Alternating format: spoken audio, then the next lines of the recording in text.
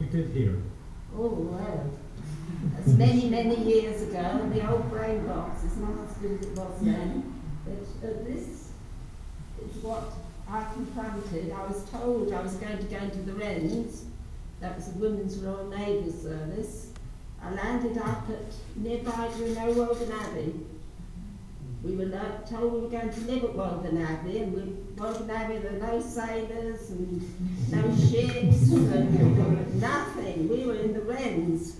And the next day we were brought across here to Bletchley, from Abbey to Bletchley, and then we'd had another S word which was secret. so it's all I knew, and I'm so thrilled all of you are going to go into this studies because there's a world ahead of you. In those days, Hitler was causing a havoc, and we were essential then to get cracking. But I believe we're living in days now where it's essential that we keep a track on what's going on in the secret world.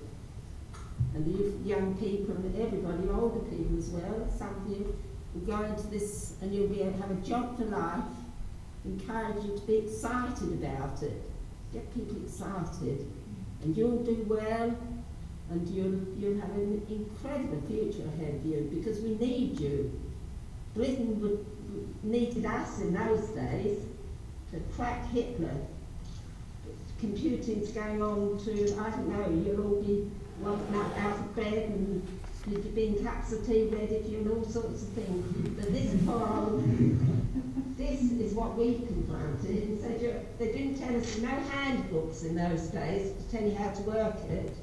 We arrived at here at Bletchley Park, showing this machine, great big machine like this, and we just given some instruction, and we then worked under cryptanalysts, very, very intelligent people, and sort of people that you would grow those same sort of intelligence to grow and understand.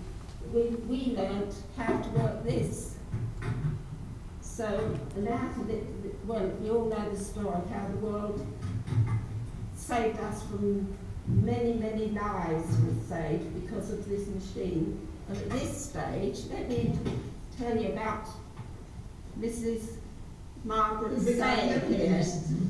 Mrs. Margaret Sale, and if it wasn't for Margaret Sale and her dear and her dear husband, Tony Sale, let me tell you this. Bletchley Park would not be here.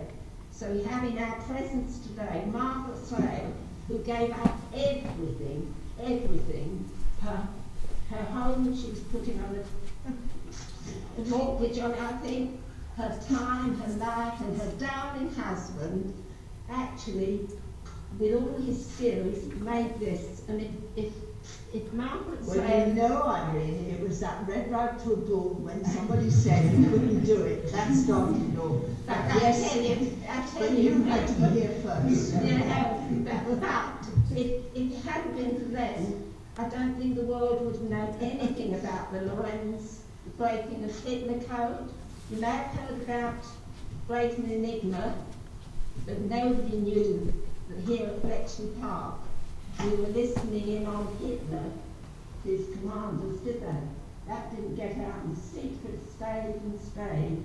It's only recently the truth is coming to light, and it's taken many years, and with just a few us left who are determined to know the truth, because, and it's only because we've still got a computer here, the world will know that it's a well, he wasn't, he was in his 30s, I suppose, London East End boy, Tommy Flowers.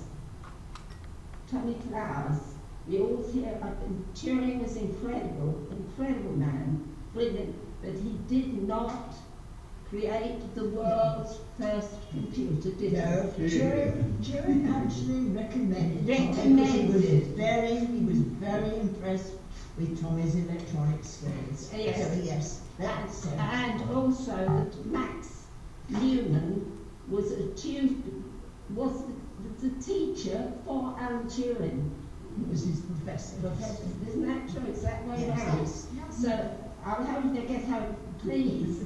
And this lady and her darling husband are responsible to us all knowing about the Lorenz and breaking hit the code, otherwise it will all fizzled out and nobody will ever know. It remained, remained a secret, we would have kept a secret, but the rest of the world wouldn't have known. Right.